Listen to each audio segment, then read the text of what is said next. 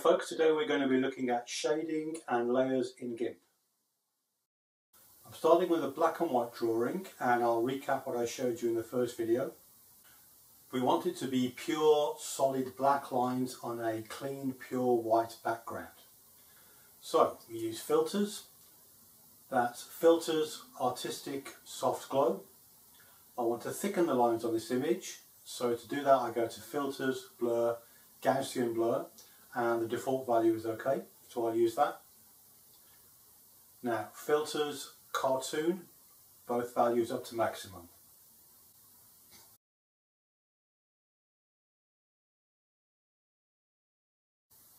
If you've never used layers before, you might be a bit worried about it, it might look a bit complicated to you, but I'm going to show you a couple of very simple little tricks that you can use when you're shading your images.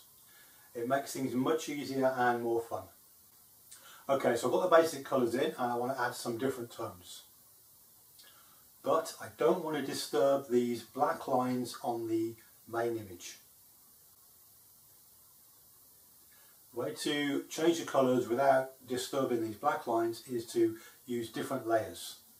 So I want to shade his skin. First I'll sample his skin colour using the colour picker tool. Then I copy everything. That's select all, edit, copy visible. Now layer, new layer.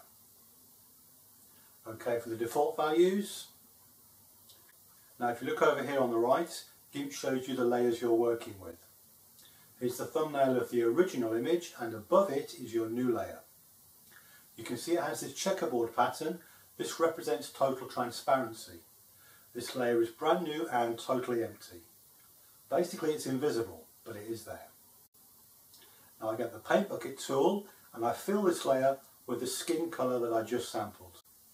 Now edit, paste as, new layer. Here's a copy of your original image on top of the layer of skin colour. Make sure you're on this top layer and use colour select tool again. Click on the area of the skin colour and edit clear. It looks like nothing's happened, but if you look over here, there's a blank space on your top layer where that colour has been removed. What you're seeing is the skin colour on the layer below. Let's delete this bottom layer now, we don't need it anymore. Okay, so why I done this? Let me show you. I want to add some darker tones to this guy's skin and I want to do it without disturbing the original black lines. So I go to the colour box and I darken the colour. I select the paintbrush tool and I select the lower layer. Now when I start painting you can see that the top layer with the black lines, the brown hair, the green background, the lips, they're all totally unaffected. I can do whatever I like on the bottom layer, it won't affect the original outlines which remain perfectly superimposed on top of whatever I do underneath. Great, so let's do some shading. I'll give my paintbrush a fuzzy edge and I want it dark but not too heavy so I'm turning the opacity down. Now this is important, check that you are on the lower layer before you start otherwise you'll waste a lot of time and you'll waste a lot of work. So check that first. Now I'll add some highlights, change the colour to something much lighter and increase the opacity.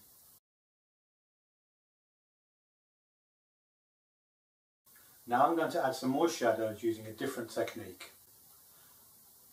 I want to select large areas, so I get the lasso tool here and create the area I want. Then I go to colours, brightness contrast and turn down the brightness. This method allows me to mark out a precise area with a sharp border, like under the eyebrows, around the bottom of the nose, etc.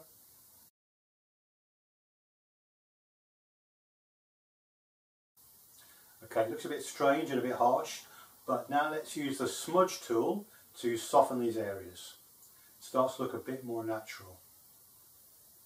To blur a larger area, increase the size of the brush.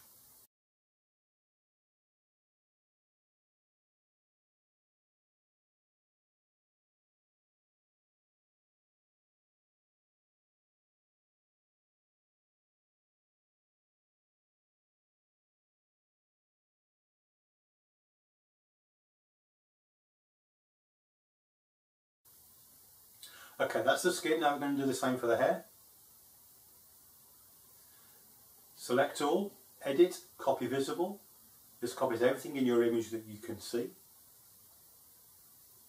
Next, layer, new layer, OK, and fill it with the colour you sampled.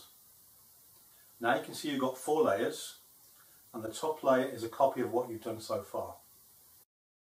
Once again we go to the top layer and sample the same colour again and then edit, clear to delete it. Now we go to the layer we want to work on. I'm going to texture the hair it's a fairly simple process. First darken the colour. Now set the paintbrush fairly thin, about 7 pixels is about right. Opacity at maximum. This cat's got pretty ordinary hair, short and wavy, so I'll just use some short strokes. Now set the colour lighter than the original shade and do the same again but not so much, these are just highlights.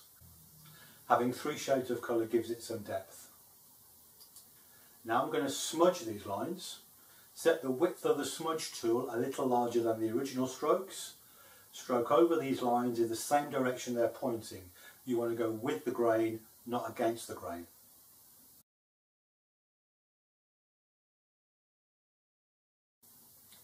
Now for the eyes, the same process again.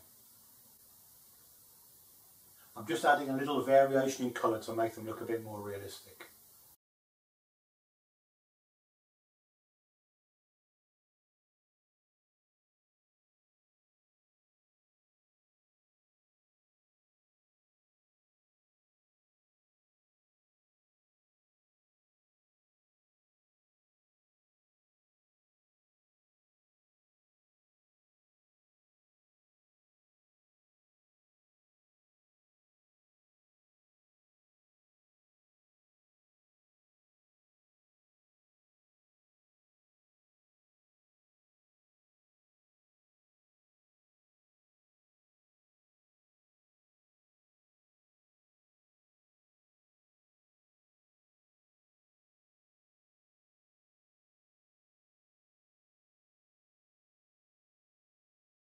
Same for the lips. Here I'll add a little bit of shadow as well and smudge all of that.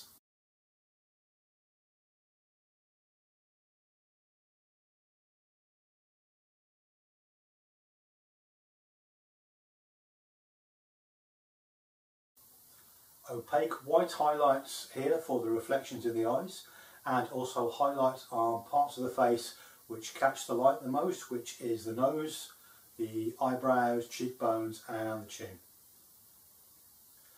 You can smudge these in but not the eyes. At this point be careful because now you're working on the top image and it's all one image, there's no layers anymore so you have to be careful not to smudge the black lines.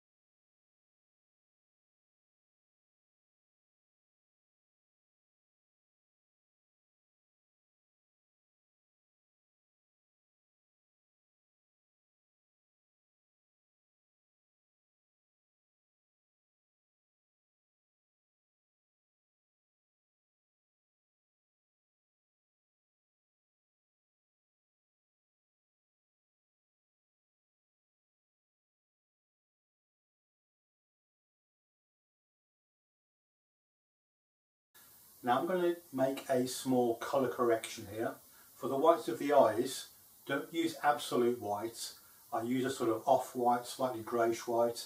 This makes the highlights stand out more. If his teeth were showing, I'd use the same colour for that as well.